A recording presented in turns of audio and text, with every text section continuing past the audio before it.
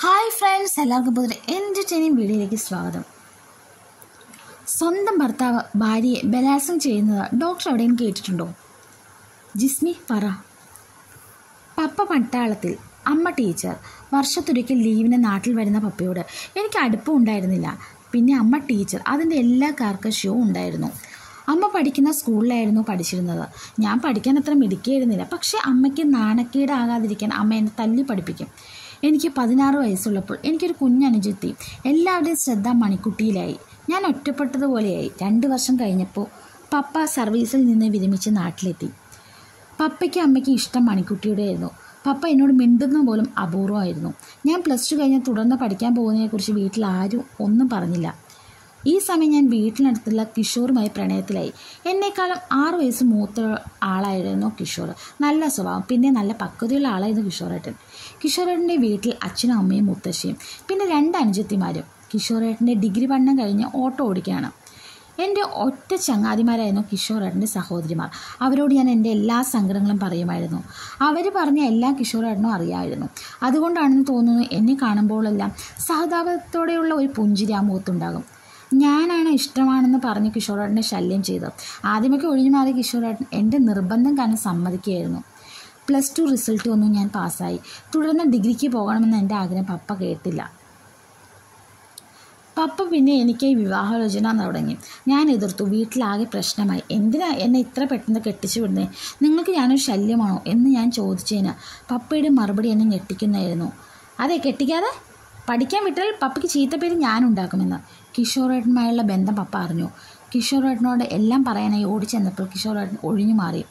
കിഷോറേട്ടനെ പപ്പ ഭീഷണിപ്പെടുത്തിയതായി പേടിപ്പിച്ചതായി ഞാൻ അറിഞ്ഞു. അങ്ങനെ പപ്പ കണ്ടുപിടിച്ച ആളുമായി എന്റെ വിവാഹം നടന്നു. എന്നേക്കാളും പതിനാറ് വയസ്സ് കൂടുതലുള്ള ആളുമായിട്ട്. കാണാൻ സുന്ദരിയായി എനിക്ക് ഒട്ടും ചേരുന്ന ആളായിരുന്നില്ല ടോണിച്ചായൻ കറുത്ത് കുറുകിയ ഒരാളായിരുന്നു ടോണിച്ചായൻ കഷ്ണ്ടി തല. കണ്ടൽ മുപ്പത്തിനാല് വയസ്സുള്ള ടോണിച്ചായന് നാൽപ്പത്തഞ്ച് വയസ്സ് തോന്നിക്കും. പപ്പ നോക്കിയത് ടോണിച്ചായന്റെ കുടുംബ മഹിമയും ഭൂസ്വത്തുമായിരുന്നു ടോണിച്ചായന്റെ വീട്ടിൽ ഡാഡിയും അമ്മയും മാത്രം. ടോണിച്ചായന് ഒരു പെങ്ങളുണ്ട്. വിവാഹിതയാണ്. കുടുംബസമേതം അമേരിക്കയിലാണ്. പപ്പ എനിക്ക് നൂറ്റൊന്ന് പവനും പത്ത് ലക്ഷവും ഒരു കാറും സ്ത്രീധനമായി തന്നു. ആദ്യ രാത്രി തന്നെ മദ്യപിച്ചാണ് ടോണിച്ചായൻ മണിയറയിലേക്ക് വന്നത്. പിന്നെ അവിടെ നടന്ന എന്താണെന്ന് എന്റെ സ്വപ്നത്തിൽ പോലും നടക്കാത്ത കാര്യമാണ്. ക്രൂരമായ ഒരു പെണ്ണിനെ എങ്ങനെ ബോഹിക്കാമോ അങ്ങനെ എല്ലാം ചെയ്തു. തുടർന്നുള്ള രാത്രികളിലും ഇതൊക്കെ തന്നെ. ഒന്ന് മിണ്ടാൻ പോലും ടോണിച്ചാനെ കിട്ടാറില്ല. ഞാൻ എണീക്ക് മുമ്പ് തോട്ടത്തിലേക്ക് പോകും. രാത്രിയാണ് വീട്ടിൽ വരിക. വന്ന് കുളിയും കഴിഞ്ഞ് കൂട്ടുകാർക്കൊപ്പം കുടിച്ച് മദ്യപിച്ച് അർദ്ധരാത്രി വീട്ടിലെത്തും. പല രാത്രികളിൽ ഞാൻ ഉറങ്ങിയിട്ടുണ്ടാവും. ആ രാത്രികളിൽ പോലും എന്നെ വെറുതെ വിടില്ല. ഉറക്കം ഉണരാൻ പോലും കാത്തു നിൽക്കാറില്ല. ആരോട് എന്റെ സങ്കടങ്ങൾ പറഞ്ഞില്ല. ആരോട് പറയാൻ. അങ്ങനെ ഞാൻ ഗർഭിണിയാണെന്ന് അറിയുന്നു. എനിക്ക് ഒത്തിരി സന്തോഷമായി. പക്ഷേ ഇതറിഞ്ഞിട്ട് ടോണി ചാൻ ഒരു സന്തോഷവുമില്ല. മോനുണ്ടായി തിരിച്ച് വീട്ടിലെത്തിയപ്പോൾ ഞാൻ പ്രതികരിക്കാൻ തുടങ്ങി. എന്റെ ദേഹത്തെ എന്റെ അനുവാദമില്ലാതെ തുടരുതെന്ന് പറഞ്ഞു.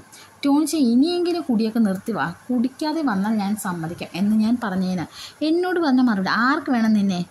കാശ് കൊടുത്താൽ കിട്ടാത്ത സാധനം നല്ലതെന്ന് എന്നോടുള്ള ഭാഷ തീർക്കാനായി ടോണിച്ചായൻ പുറത്ത് പല സ്ത്രീകളുടെ അടുത്ത് പോകുന്നത് ഞാൻ അറിഞ്ഞു. ഫോണിൽ അശ്ലീല ചാറ്റും കോളും കണ്ടു. ഇതെല്ലാം ഞാൻ ഭർത്ത വീട്ടുകാരെ അറിയിച്ചപ്പോൾ അവർ മോന്റെ പക്ഷത്താണ്. ഞാൻ കരഞ്ഞ് കാൽ പിടിച്ചു. ഇതെല്ലാം കണ്ട് അവരെനിക്കൊരു പേര് ചാർത്തുന്നു. ഭ്രാന്തി എന്ന്. എനിക്ക് ഭ്രാന്താണെന്ന്.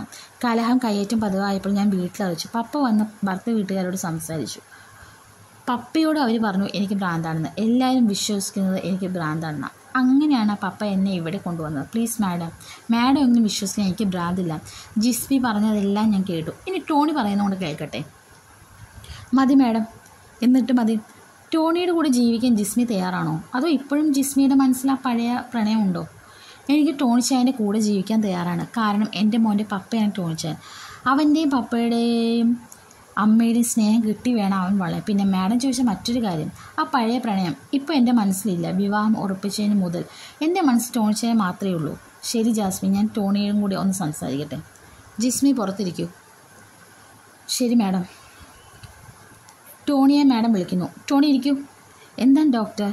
ജിസ്മിക്ക് പ്രശ്നം. ചെറിയൊരു പ്രശ്നമുണ്ട്. പറയാം. അതിന് മുമ്പ് എനിക്ക് ടോണിയോടൊന്ന് സംസാരിക്കണം.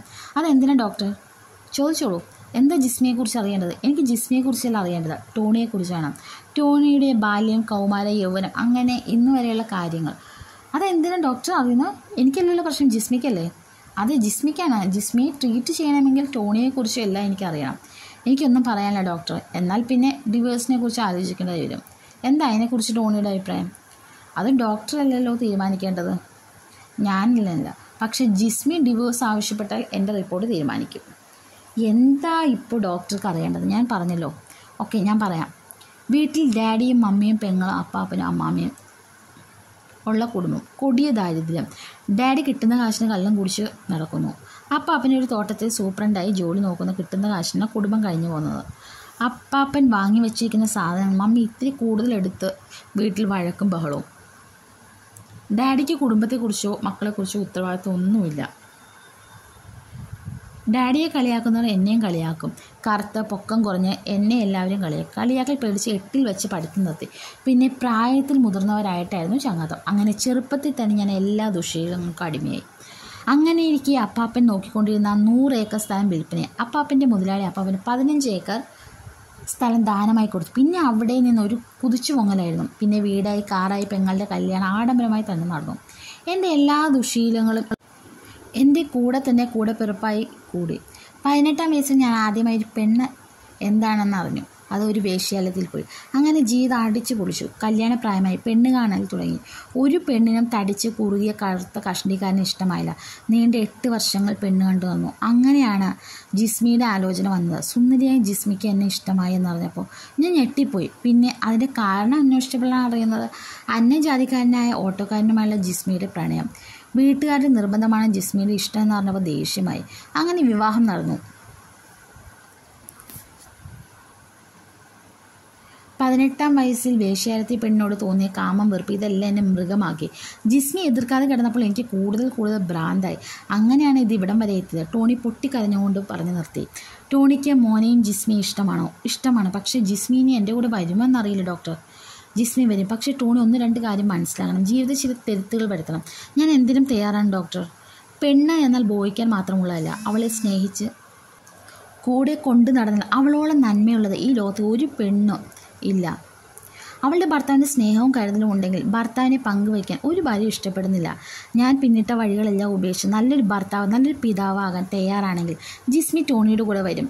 ഇത്രയ്ക്ക് ക്രൂരത നേരിട്ടും ജിസ്മി തന്റെ കുഞ്ഞിന്റെ അച്ഛനൊപ്പം ജീവിക്കാനാണ് ആഗ്രഹിക്കുന്നത്. ഞാൻ എന്റെ തെറ്റ് മനസ്സിലാക്കുന്നു ഡോക്ടർ. ടോണി ഞാൻ പറയുന്ന വരി ഇവിടെ കൗൺസിലിങ്ങിന് വരണം. കാരണം ടോണിയുടെ മനസ്സിൽ ആവശ്യമില്ലാത്ത കുറേ ചിന്തകൾ കടന്നുകൂടിയിട്ടുണ്ട്. അതിലൊന്ന് അപകർഷതാബോധം അതൊക്കെ മാറ്റി നല്ലൊരു ജീവിതം തുടങ്ങണം. ഞാൻ തയ്യാറാണ് ഡോക്ടർ എന്നാൽ പോയി അടുത്ത ആഴ്ച വരൂ. ഡോക്ടർ നിർദ്ദേശിച്ച അത്രയും കൗൺസിലിന് ശേഷം നല്ലൊരു കുടുംബജീവിതമാണ് ടോണിയും ജിസ്മിയും നയിക്കുന്നത്. ജിസ്മിക്ക് എന്നോട് ദേഷ്യമുണ്ടോ? എന്തിന്? അന്ന് അങ്ങനെയൊക്കെ ചെയ്തേന്. അന്ന് ദേഷ്യമില്ലായിരുന്നു സങ്കടമായിരുന്നു. പക്ഷേ ഇന്ന് ഞാൻ സന്തോഷവതിയാണ്. അന്ന് എന്തിനാ ഡോക്ടറോട് ടോണി ചായനൊപ്പം ജീവിക്കാനാ ഇഷ്ടമെന്ന് പറഞ്ഞത്. അന്ന് ഡിവേഴ്സ് വാങ്ങി പോയിരുന്നെങ്കിൽ എനിക്ക് എന്റെ ഈ ടോണി ചായനെ കിട്ടുമായിരുന്നോ? വീട്ടുകാർ എന്നെ മറ്റൊരു വിവാഹം കഴിച്ച് വിടുമായിരിക്കും. പക്ഷേ നമ്മുടെ മോനെ അവന്റെ അച്ഛന് അച്ഛന്റെ സ്നേഹവും കരുതലും കിട്ടുമോ? ടോണി ചായ ദാമ്പത്യ ജീവിതത്തിൽ സൗന്ദര്യത്തിലോ പ്രായത്തിലോ ഒന്നും അല്ല കാര്യം. സ്നേഹത്തിന് പരസ്പര വിശ്വാസത്തിനും കരുതലിലുമാണ് കാര്യം.